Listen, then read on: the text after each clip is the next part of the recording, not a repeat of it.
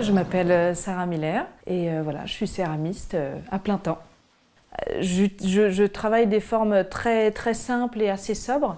Mes matières ou mes couleurs préférées, ça va être euh, la blancheur de la porcelaine qui va vraiment être très pure euh, et aussi euh, le, le grès noir qui va être... euh, et moi en plus j'utilise un, un grès noir chamoté, donc ça veut dire qu'il a euh, de la terre qu'on a cuite et qu'on a euh, pilonnée dedans.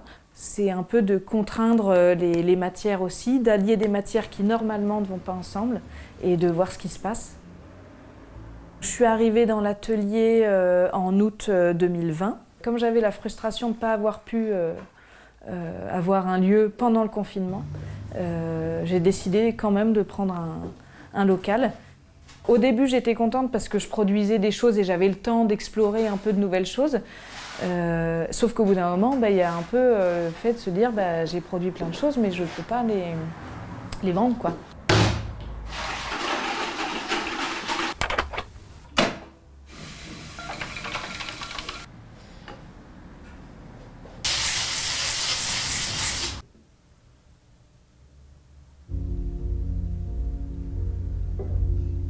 Tournage, 980 degrés, tournassage, battage de la terre, émaillage, tournage, température, porcelaine. À mon atelier, avant, je faisais pas trop de photos ni de vidéos, etc. Et en fait, je m'y suis mise à publier plus le quotidien de l'atelier aussi. Et en fait, je me suis rendu compte que ça intéressait beaucoup les gens. Je pense que ça donne encore plus de valeur euh, du coup aux pièces euh, finies et les gens se rendent mieux compte du travail qui est en amont, quoi.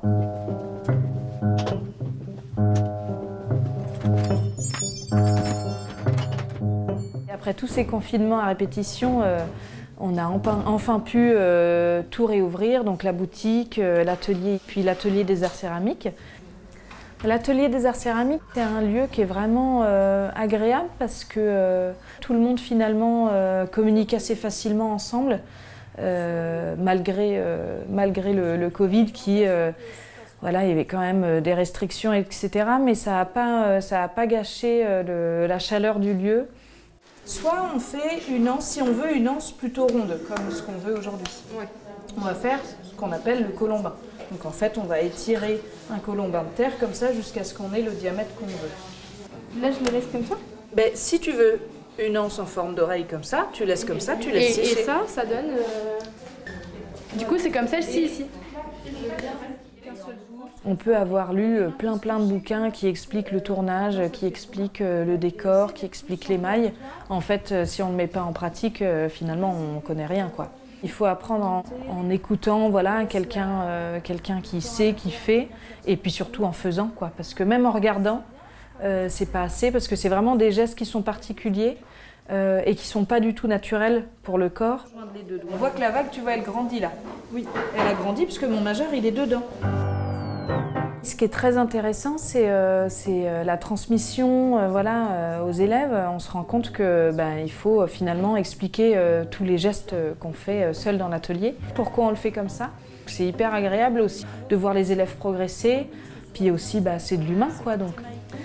Alors, est-ce que ça a fait naître des vocations Je ne sais pas, mais peut-être. c'est possible.